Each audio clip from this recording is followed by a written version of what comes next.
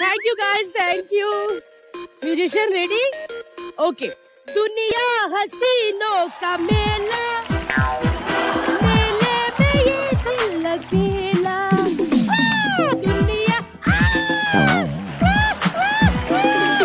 दुनिया हसीनों का मेला। मेला में यस सर क्या हुआ? अच्छा लगा। ये ये क्या नॉइज़ पोल्यूशन हो रहा है भाई? नॉइज़ क्या सर? पोल्यूशन कैसा हो रहा है आप क्या कर रहे हैं आके यहाँ पे?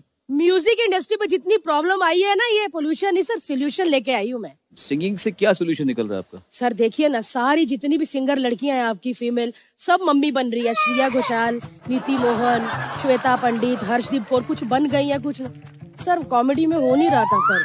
मुझे लगता है कि सिंगर बनो फिर हो जाता है। सिंगर से ज़्यादा मेरे ख्याल से एक दाई की आवश्यकता ज़्यादा होगी।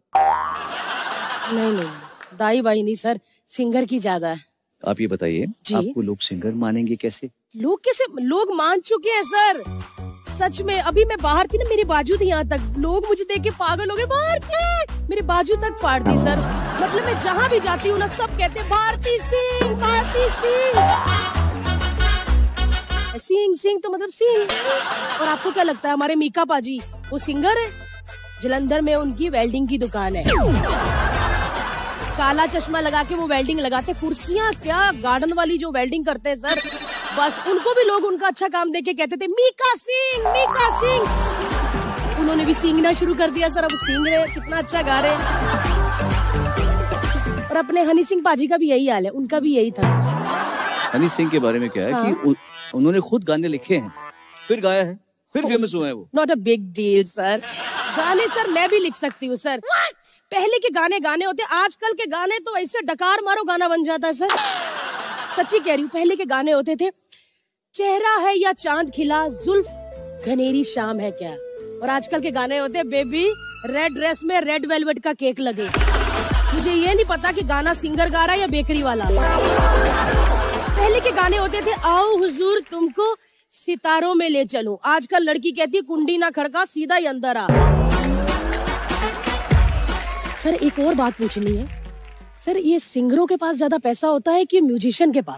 ये कैसा सवाल है? सर मैंने देखे बड़े बड़े सिंगर चाहे वो ये पलक जी हो चाहे आप हो चाहे लता जी हो आप लोग गाना गाने से पहले इधर बैंड की तरफ़ देखते हैं और कहते हैं कि वो नोट देना कौन सा नोट मांगते हैं? हज़ार पाँच सौ दस रुपए। कौन सा नोट है जो वो देते हैं तभी आप गाते हो सर? वो म्यूजिकल नोट है। म्यूजिकल नोट मांगते हैं। आपको इतना भी नहीं पता आप सिंगर बनने के लिए चले आए। सिंगर बनने के लिए सबसे ज़रूरी काम है रियाज करना जब भी मैंने कुछ ऐसा रियाज या प्रैक्टिस करनी होती है ना मैं एक ऑटो लेती हूँ और बस खड्डों वाली सड़क पे निकल जाती हूँ फिर उसको बोलती दादा ऑटो सौ की स्पीड इतने सुर निकलते और इतनी मुड़कियाँ निकलती है ना मुड़कियाँ क्या सर कल की खाई हुई मुर्गियाँ भी निकल जाती है ऊँचे ऊँचे सुर मेरे सर। ऊँचे ऊँचे सुर तो राहत फतेह खा के लगते हैं। सर फ्रेंड सर्कल है हमारा सर वो। और मेरे में और राहत जी में कोई ज़्यादा फ़र्क नहीं है। डाइट में भी नहीं और सिंगिंग में डाइट में वो भी चालीस पराठे मेरे भी चालीस पराठे। उनके तीस अंडे मेरे भी तीस अंडे। उनका पाँच लीटर दूध मेरा भी पाँच। खा के फिर मिक्स ऐसी जुगलबंदी करते हैं ना सर कि मज़ा आ जाता है सोनू जी। जुगलबंदी भी करते हैं आप? हाँ जी डकारों की सुरीली डकारों की। सर ये देखिए।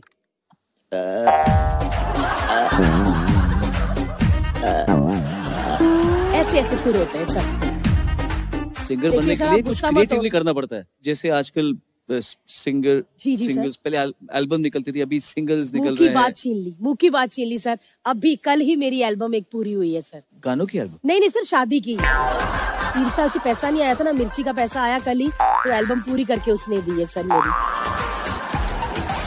गलती कर दी आपने? अभी एल्बम्स का जमाना नहीं है वैसे।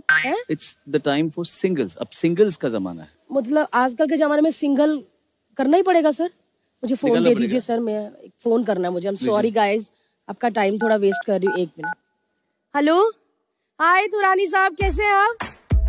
या या मैंने वो सोच लिया है। आप पेपर तैयार कर दीजिए मैं साइन कर दूँगी। हाँ जी तुरानी जी बाय या या लव यू टू बाय कमाल है आप तो कमाल है। आप तो बहुत पहुँची हो निकली। ये तो हमारे फैमिली वकील है सर ये डिवोर्स कराते हैं टेन परसेंट डिस्काउंट पे। सिंगल होने के लिए जाती हूँ। आपके किसी फ्रेंड सर्कल को तो रानी जी का नंबर चाहिए हो मैं बैक स्टेज ही हूँ प्लीज़ मुझसे ले लेना। Thank you guys thank you thank you thank you Sonu ji. Bye Sonu ji.